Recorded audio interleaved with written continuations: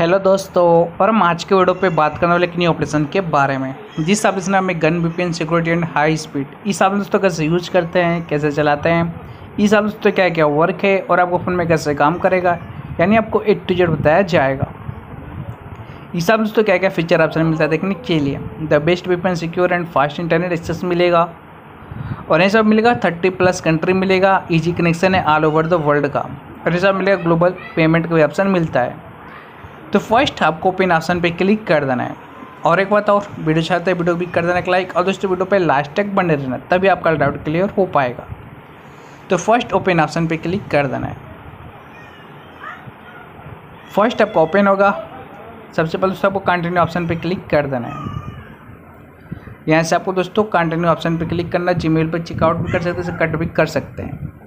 आपको इसे बाई करना है बाई भी कर सकते हैं सिंपल तरीके से। फिर आपको फ़र्स्ट इस करेंट ऑप्शन पे क्लिक कर देना है। करेंट ऑप्शन पे क्लिक करते दोस्तों आपको यहाँ पे जीमेल से लॉगिन करना पड़ेगा। जीमेल से लॉगिन करने के बाद फिर कनेक्ट हो जाएँगे। जीमेल लॉगिन होने के बाद।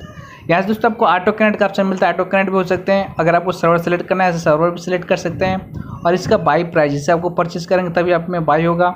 और तभी आप सर्वर से कनेक्टेड हो पाएँगे। और टॉप पे दोस्तों थ्री डॉट का आइकन मिल जाता है। तो यहाँ से आपको मिलेगा दोस्तों अकाउंट का ऑप्शन मिलेगा सेटिंग का ऑप्शन मिलेगा कस्टमर सर्वर मिलेगा, और यहाँ से आपको मिलेगा फ़र्स्ट सपोर्ट का ऑप्शन मिलेगा अबाउट का भी ऑप्शन मिल जाता है। तो यानी कुछ दोस्तों ऑप्शन में फीचर दिख जाता है देखने के लिए।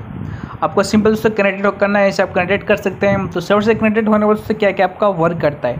आपके दोस्तों इंटरनेट स्पीड इंक्रीज हो जाता है, और आपका आई पी भी ऐड हो जाता है, जिससे आपके इंटरनेट स्पीड में data download speed upload speed अच्छा खासा स्पीड मिलना स्टार्टेड हो जाता है।